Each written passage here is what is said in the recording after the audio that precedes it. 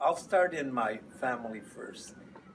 You know, just uh, last year, my uh, my kids' school told them that they had run out of paper, and that all their homework had to be done by computer.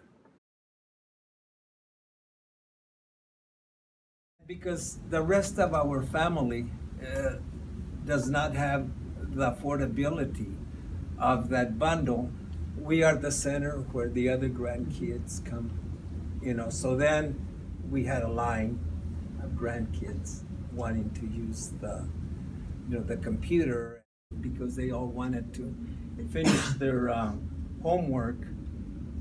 And then we represent about 40 uh, family members, you know, we, we live right there. And you know, it's really a drain because uh, my PG&E as a result is extensive.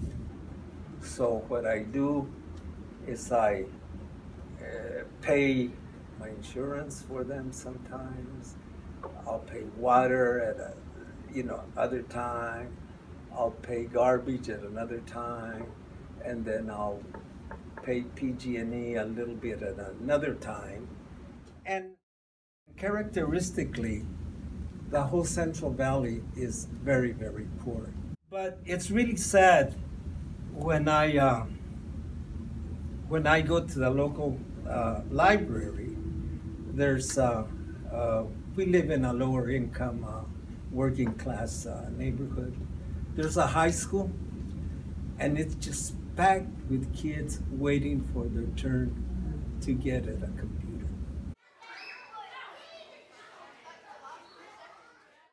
The the kids that don't have laptops or computers at home do it during recess, during lunch, or while they're waiting for the bus.